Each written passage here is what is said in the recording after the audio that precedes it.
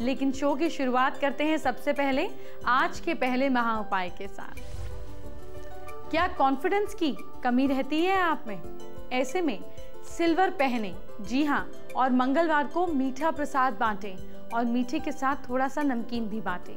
43 days तक कौओं को और डॉग को गुड़ की रोटी तंदूर में लगाकर खिलवाइए। डॉग को सिर्फ़ एक बाइट दीजिएगा, ज़्यादा मीठा डॉग के लिए अच्छा नहीं होता। शो में आगे बढ़े, उससे पहले जानते हैं आज का दूसरा महा उपाय। सवाल क्या है? सवाल ये है कि क्या आप शकुन से बचना चाहते हैं आप ऐसे में जब भी मौका मिले, मंदिर में नारियल ज़रूर चढ़ाएँ या अपने सिर से सात बार उसार कर किसी नदी में बहाएँ। इससे आपके ऊपर अगर कोई भी नेगेटिविटी है या आपके बनते काम बिगड़ जाते हैं तो सब ठीक हो जाएगा, लेकिन नदी के पास छोड़े, नदी में बहाएँ नहीं, उसको गंदा नहीं करें। नवरात्र का तीसरा महा उपाय बताने का वक्त आ गया है। क्या आपका बच्चा पढ़ाई में फोकस नहीं है?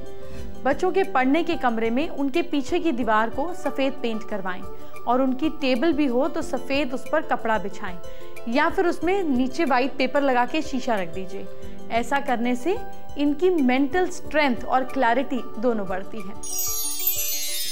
नवरात्र चल रहे हैं। मैं आपको रोज नवरात्र के पाँच महा उपाय बता रही हूँ।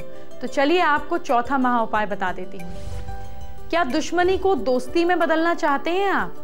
ऐसे में दुश्मनों को मन से निकालने के लिए, कड़वाहट को हटाने के लिए, उनकी गड़बड़ियों को खत्म करने के लिए हनुमान जी के माथे से सिंदूर लेकर मोरपंख पर शत्रु का नाम लिखते हैं। ये काम मंगलवार या शनिवार को रात को करें। इस मोरपंख को घर के मंदिर में रख दें। सुबह इसे बहते पानी के पास छोड़ दें। दुश्मनी खत्म हो जाएगी।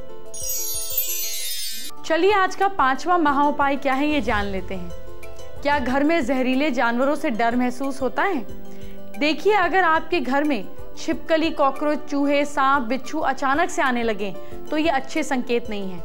घर में जहरीले जीव का आना आपके घर में कई तरीके के अपशकुन और अनचाहा खतरा लेकर आता है। वैसे ये राहु के दोष के कारण भी होता है। राहु का दोष दूर करने के लिए मोरपंख घर की ईस्ट और नॉर्थ वेस्ट की डायरेक्शन में लगा दीजिए। लेकिन ध्यान रखिएगा, किसी भी जानवर को मारना नहीं चाहिए। आप उन्हें घर से बाहर कर सकते हैं, अपनी सुरक्षा के लिए, लेकिन मारने से बच